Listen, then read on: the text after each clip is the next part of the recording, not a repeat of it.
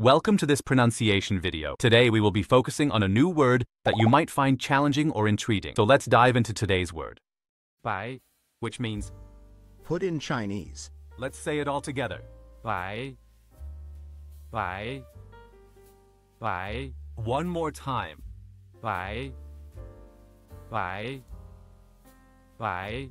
Thank you for joining us on this adventure in pronunciation. Remember, language is a journey not a destination. Keep exploring, experimenting, and expanding your linguistic horizons. We'll see you next time.